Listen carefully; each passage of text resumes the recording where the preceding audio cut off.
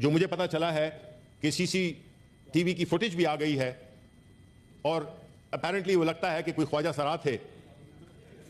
लेकिन इन ख्वाजा सराओं ने, अगर आपको याद हो तो एक और जर्नलिस्ट थे, उस पर भी अटैक किया था। तो ये इत्तेफाकन नहीं है।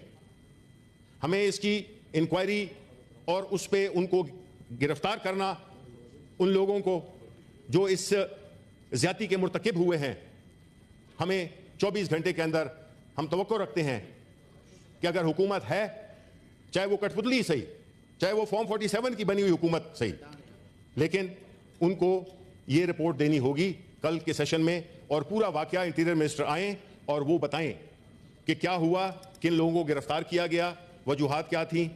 इस सारी ये हमारी आपसे रिक्वेस्ट है।